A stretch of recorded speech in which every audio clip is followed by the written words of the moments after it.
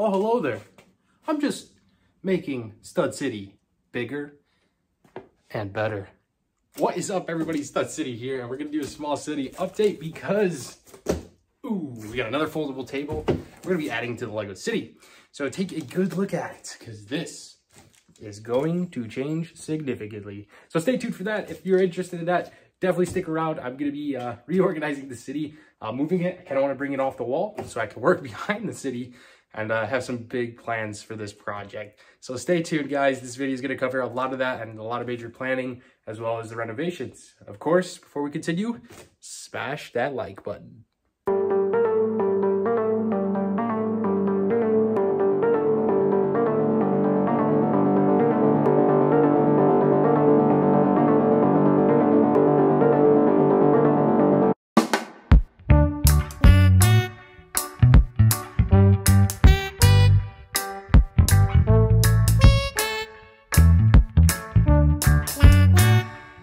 Okay, guys, we are officially done moving the tables and I kind of sweep the floor. It was pretty disgusting. It's still absolutely disgusting uh, in here, but uh, it's swept and mopped.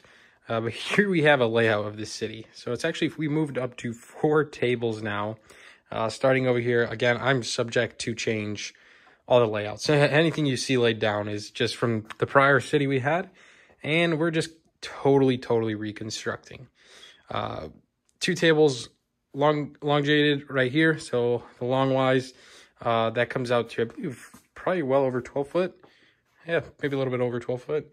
That makes sense. And I've got two tables back to back over here. So it should be like maybe six foot wide by uh, another 12 foot. Not too bad, guys. Let me know what you think so far. I'm at a loss of words. I'm figured I'd record some of the process because I don't know what to do next. I don't know what I want. Of course, I want to add an Ninjago City with our downtown uh, somewhere else, but we'll see. Just when you thought this video was getting dry, we got an unboxing.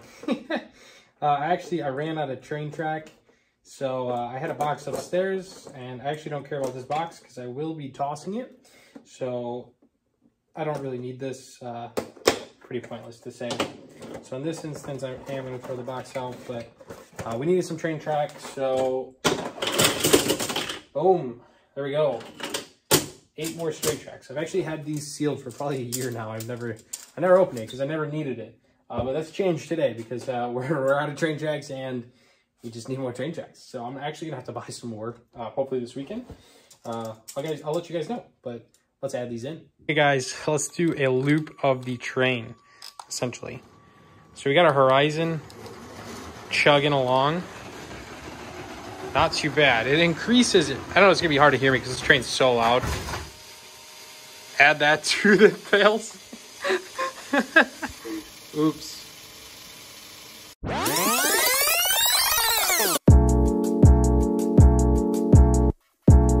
Okay, guys. I hope you enjoyed that epic crash. uh, the table's a little offset. You can even see. I didn't even put the wheels back on properly. So let's go ahead and do that. But I hope you enjoyed that epic crash in this corner.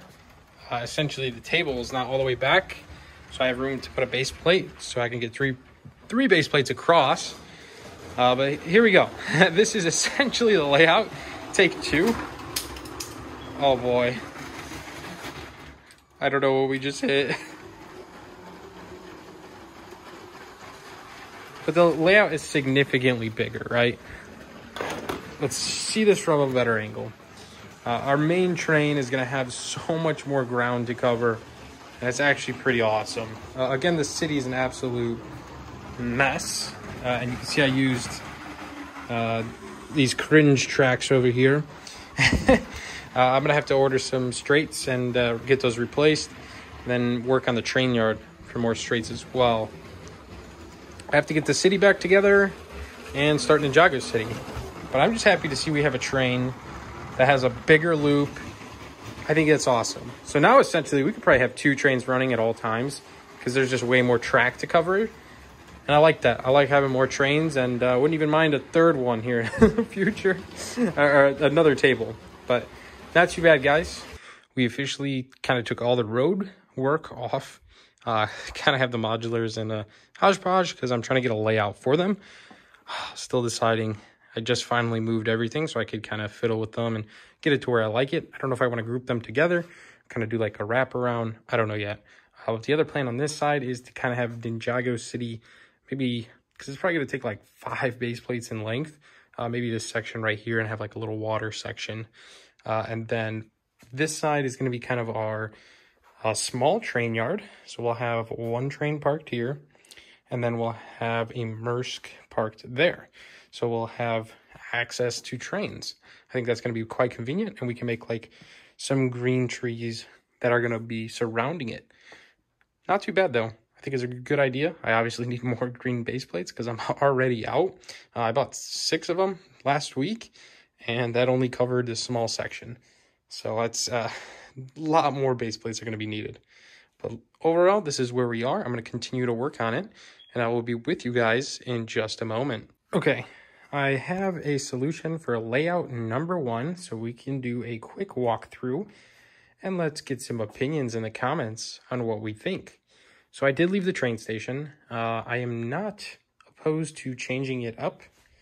Not too sure. Essentially, I could move it to this side over here up front.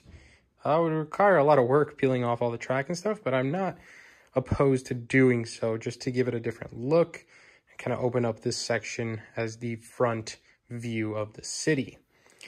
But anyways, uh, we have a central loop of modulars uh, with base plates uh, for road all the way up front and behind them. So we can actually take a full walk around now and kind of see what's going on. Uh, so this would be the middle street here. Of course, it's blank because I'm not sure what I'm doing yet. Uh, here's the back of the modulars.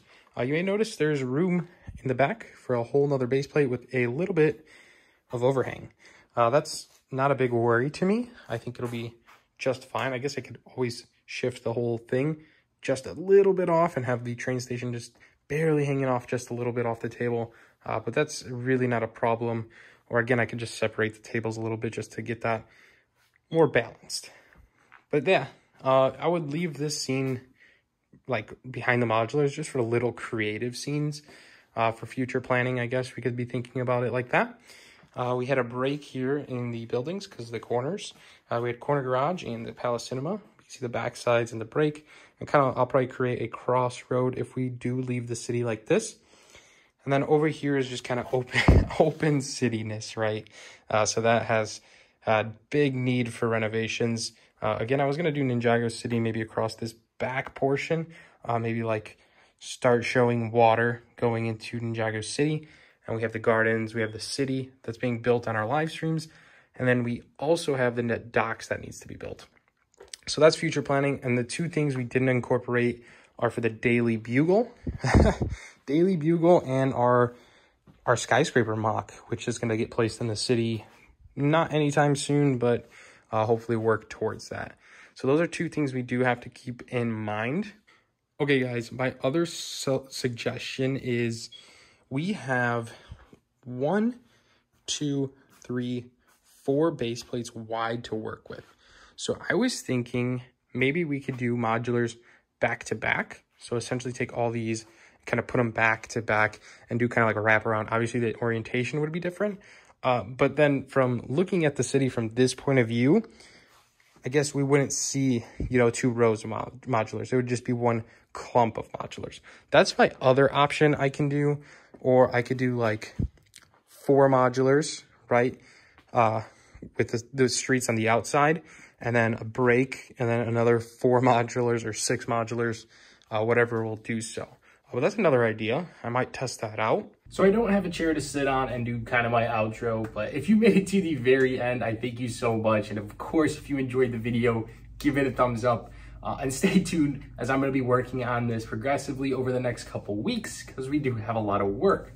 But I hope you enjoyed the changes and saw come, some of what it took to change my Lego City. It was an absolute nightmare and took me probably a total of 12 hours uh, persistently. Uh, but it was super fun and I can't wait to keep working on this in the future. And of course, if you're new here, hit that subscribe button and we'll see you in the next video. Stud City, out.